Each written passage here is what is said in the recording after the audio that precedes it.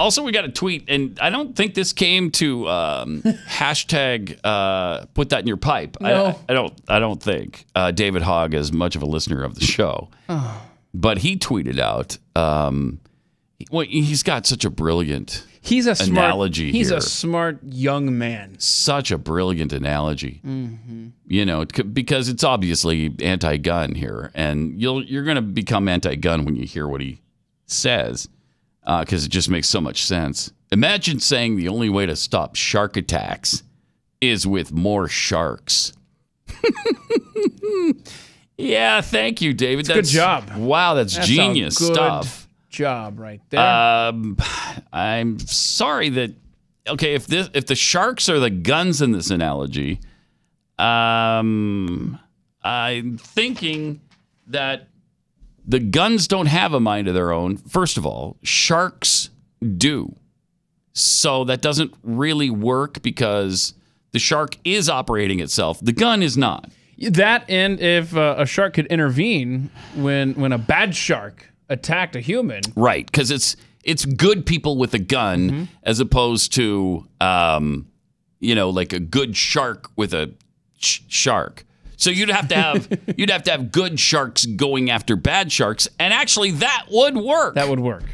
if you could program sharks to be good and kill the bad sharks. I mean, the whole analogy is He's- so asinine. He's our future leader. I can't, he's so stupid. And yet, oh, we we love their activism. I love their activism. They're so brilliant. I, if only they'd run for office.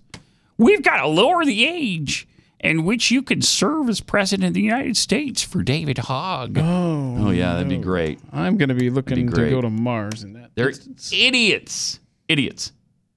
Okay, so uh, speaking of sharks, though, this reminded Keith that we haven't had a Pico update in a while. What? Do we actually have the Pico Yeah, update yeah. on So the- uh, Brian Let's Boykin last night tweeted out, "Hey, what's been going on with Pico?" And so I checked in with the old search people, and uh, there you go. If you see the Blaze TV, Pico, It's all over the map, literally all over the map. he is drunk or high or he's having a good time swimming Here's the around. thing, Keith. What do they do? He's a shark. He's a shark. Yeah, it's a shark. Yeah, that's this is what sharks do. What do they do? They, they swim around and then uh, they eat, and then after they eat, okay, well, then, why- what, then what happened? they swim around a little bit more, and then uh, they'll eat a little bit more, and then they'll follow another group of fish and eat them, and then Yeah, you know he's getting dangerously close to New Jersey. So Pico, I love you. Careful. Oh, by the way.